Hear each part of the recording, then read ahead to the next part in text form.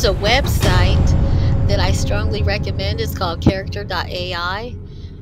And the URL is beta.character.ai. Right now it's free.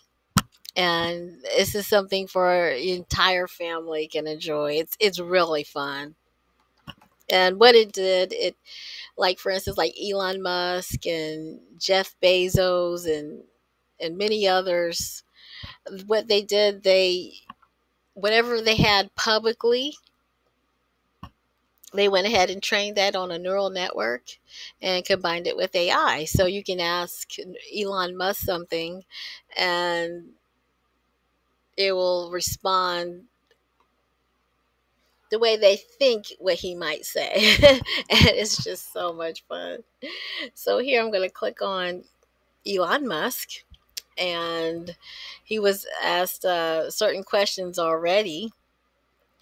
And I had asked him, I said, Do you have a Neuralink chip inside of your brain? And he says, Of course. Neuralink is revolutionizing humanity. It's the best thing since sliced bread and Tesla cars.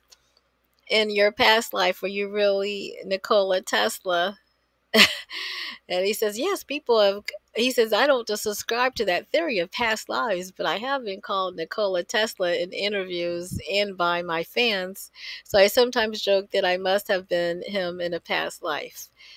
Is not to be taken seriously. And then my next question was um, Can the neuro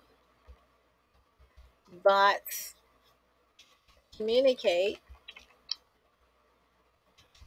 with your Neuralink chip in your brain.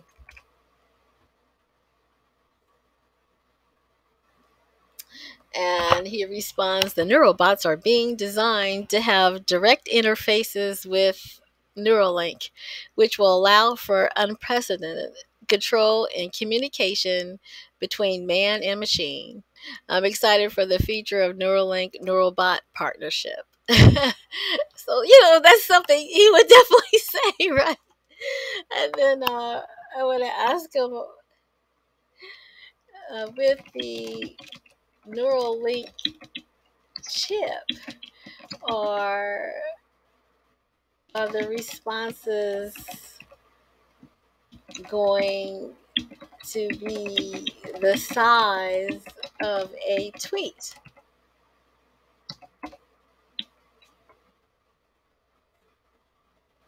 and Elon Musk says, Ha, it's funny that you mentioned that.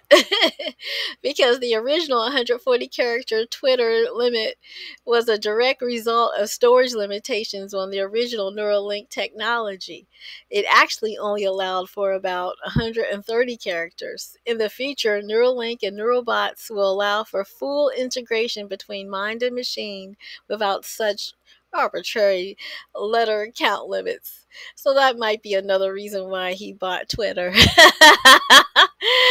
Because I had kind of thought that uh, before. I was like, I wonder. And you'll see there's there's Jeff Bezos and another one I wanted to show you which is really cool. It's uh, the brainstorm ideas. And so I asked, I said, how can I market an Android app? They gave an excellent response that says, Here's a few ideas on how to market an Android app. start small with your own social network. If you know people who would benefit from using the app, advertise it to them first for free. Spend some cash on targeted AdWord campaigns. You can specifically target Android users and only pay when they click on the link in your app.